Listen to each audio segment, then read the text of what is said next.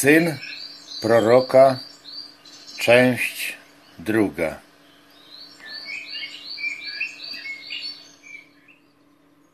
Czerwona kula zachodzącego słońca rozpływała się w szarawej mgle. Niebo, choć bez chmur, wydawało się zapylone i szare. Ziemia, gdzie okiem sięgnąć pusta, strzarzała i spękana. Wydawała się pustynią, lecz oto nareszcie oczom ich ukazał się wspaniały widok na wzniesieniu muru. Mury domów wplatały się w zieleń drzew, a powyżej nad murami zieleń niby korona wznosiła się ku niebu ku Jezreel.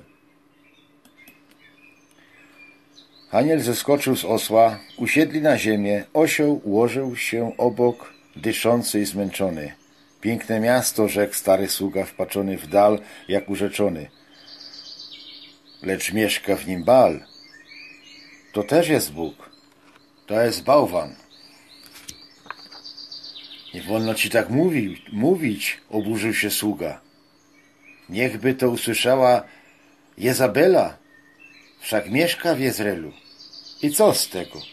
Każe cię zabić. Haniel zamyślił się, a sługa zaczął go pouczać.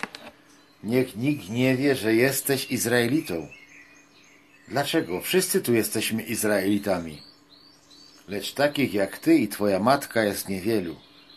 Jestem stary i wiele widziałem w swym życiu, dlatego radzę ci milcz.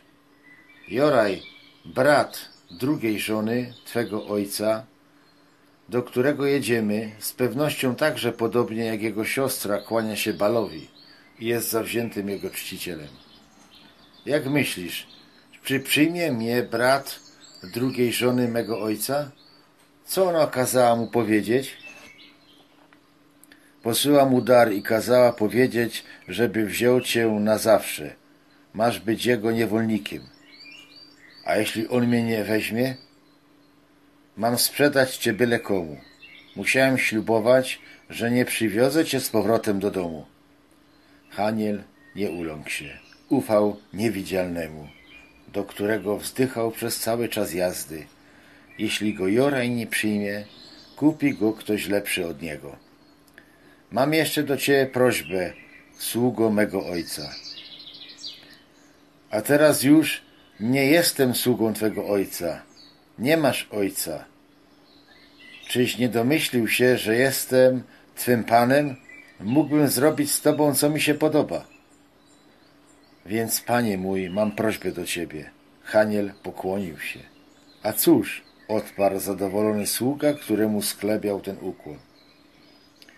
Nigdy nie byłeś moim sługą, ale sługą mego ojca, który już nie jest moim ojcem, a teraz jesteś moim panem i chcę cię o coś prosić, bo zawsze myślałem, że mnie lubisz. Dlatego też myślę, że nie odmówisz, panie mój, mej prośbie. Owszem, lubiłem cię i jeszcze cię lubię. Cóż to za prośba? Zostaw mi mojego osła. Oszalałeś?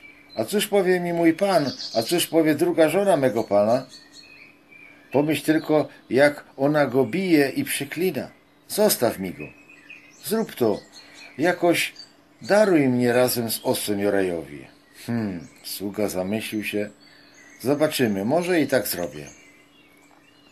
Wstali, by ruszyć dalej, ale Haniel nie śmiał na osła wsiąść, albowiem sługa, który już nie był sługą, ale panem, nie rozkazał mu tego. Szli więc obok osła ku miastu.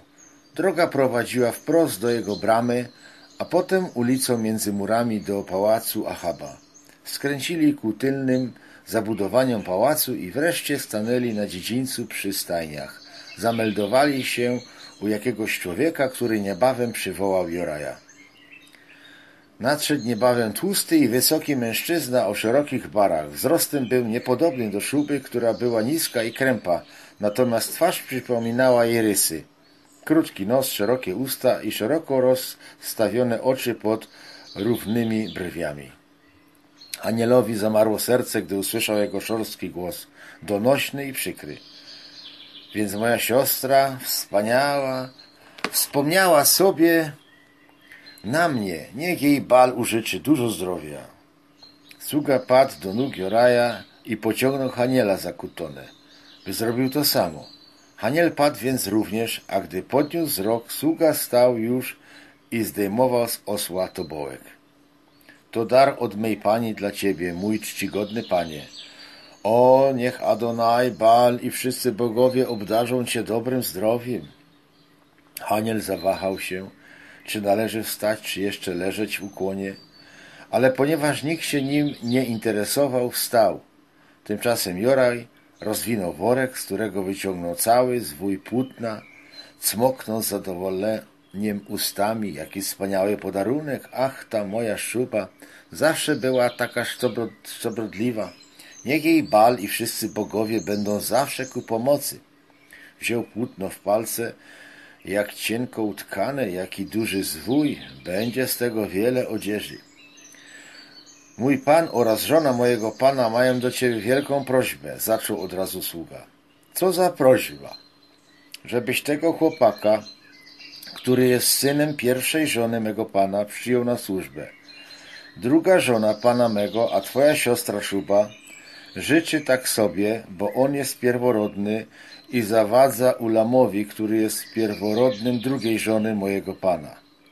Ale chłopak ten jest nader zręczny, pracowity i dobry. Przyjmij go na służbę, wiem, że nie będziesz żałował.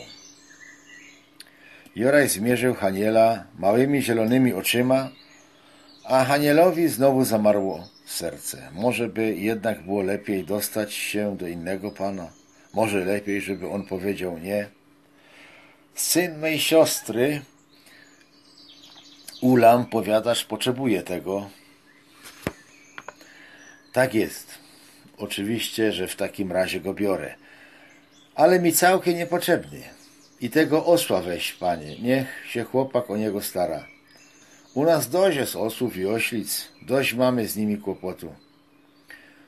Może tak być, jak powiadasz. Oto oddaję ci ich twoje ręce.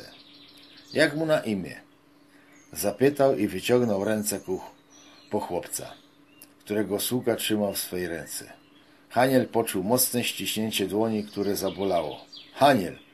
Joraj puścił jego rękę i rozkazał. Zaprowadź tego osła do stajni, do pierwszych drzwi od niskiego muru. Haniel znikł im szybko z oczu, prowadząc osła po kamieniach. Jego kopyta stukały wolno, osioł ledwo się wlókł. Haniel przywiązał go do żłobu, obok zauważył w ścianie wnękę, gdzie można było swobodnie się wyciągnąć, a może sypiali tu nawet parobcy. Może to będzie miejsce dla niego? Haniel bez namysłu położył się we wnęce. Osioł zrobił to samo przy żłobie. Wypocząwszy nieco, wrócił na podwórze, ale nie było już tu ani sługi, ani Joraja. Wrócił do stani i stanął w drzwiach, gdyż w stanie było już zupełnie ciemno. Podwórze było oświetlone światłem księżyca. Od pałacowego skrzydła, gdzie z pewnością mieszkała służba, płynął gwar ludzkich rozmów, Front pałacu zdawał się milczący i posępny, rzucał wydłużony cień w głąb podwórza. Jakiś malec wypadł z drzwi, których pojawiło się światło, pobiegł i stanął w pobliżu zawołał. Haniel! Jestem, co chcesz? Chodź ze mną, czekamy na ciebie, chcemy jeść. W środku, w dużej izbie oświeconej trzema kagankami, gwarno było i wesoło. Czterech synów Juraja czekało na niego, Osługi jego ojca, który już niestety nie był, jego ojcem dowiedzieli się, że Haniel to nie byle zuch i że nie tylko pracowity, ale potrafi skakać z drzewa jak wiewiórka. To niesłychanie zaimponowało chłopakom. Oglądali go więc ze wszech stron. Haniel przerastał najstarszego syna Joraja, Etaja, co jednało mu uznanie. Etaj był nieco starszy, lecz mimo to słabszy. Zresztą zaraz miał ochotę zmierzyć swoje siły i nastawił pięści. Haniel cofnął się jednak, zwróciwszy uwagę na najmniejszego Pinona i wykręcił się z zapasów. Usiedli za stołem. Joraj posadził wokół siebie swoją dzieciarnię, potem kazał usiąść Hanielowi i słudze. Żona Joraja przyniosła dymiącą misę. Haniel, Haniel, Haniel! Wszyscy chłopcy na wyścigi zwracali się do niego a najmłodszy Pinon z psoty zaczął uderzać go pięścią w rękę położoną na stole. Gdy misa pojawiła się przed nimi, wszyscy chłopcy rzucili się łapczywie, by wyławiać z polewki co najlepsze kęsy. Gdy tylko Haniel zapuścił łyżkę w misę, ktoś wykradł mu kęs spod łyżki i inni mieli z tego wielką uciechę. Piszczeli i śmiali się, ale Hanielowi nie chciało się śmiać. Był ogromnie głodny. Zadowolił się wreszcie tylko zupą, byleby czym prędzej trochę się najeść, gdyż i zupy zaczęło gwałtownie ubywać spod łyżek tych żarłoków. Żona Joraja przyniosła jeszcze chleba i to uratowało Haniela. Nie wstał zupełnie głodny od stołu. Chłopak, jak widać, będzie dobry, rzekł Joraj do sługi ojca Haniela. O tak, tylko bierzcie go do roboty, jest silny i zdrowy. O, już mu nie damy próżnować. Będzie nosił wodę. To nie jest takie łatwe, bo studnia u nas głęboka i pod zgórkiem. Może nosić też do kuchni pałacowej, tam tyle trzeba wody. Trzystu proroków się tutaj żywi, a sług będzie ze sto. Poza tym będzie popiół wynosił, drwa rąbał. Dobrze, że siostra go przysłała, przyda się. Tymczasem chłopcy nie dali Hanielowi spokoju. Każdy zaczepiał go do bitki, ale Haniel nie miał na to ochoty, wobec czego zostawiono go wreszcie w spokoju. Mały Pinon ogłosił nową zabawę. Bawimy się w królową i proroków. Ja jestem królową Jezabelą. Przyklasnęli mu hałaśliwie. My jesteśmy prorokami. Pinon wziął nóż ze stołu. To ja was pozabijam. Chłopcy zaczęli uciekać przed rozjuszoną Jezabelą. Mały Pinon umiał to odgrywać. Jezabela goniła ich z nożem. Zabije was, o zabije. Anielowi ścierpła skóra. Synowie Joraja wydawali mu się istnymi zbójami. To też odetchnął, gdy wreszcie Joraj wmieszał się w zabawę i kazał im udać się na spoczynek. Haniel miał położyć się między Etaja i Sefo. Nie wyobrażał sobie nawet, żeby mógł z nimi spać. To byłaby zbyt niespokojna noc. Pewno obaj kopali we śnie i rzucali rękoma.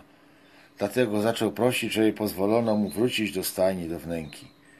Joraj zgodził się wreszcie po długich błaganiach. Chciał zaopiekować się Hanielem jak synem i włączyć go do swej czwórki. Przez dzień wiele miał zajęć i nie mógł się z nimi bawić, ale przynajmniej w nocy mógł być razem z nimi. Gdy synowie spali, Joraj lubił przychodzić razem z żoną i patrzeć na nich. Pragnął także mieć między nimi Haniela.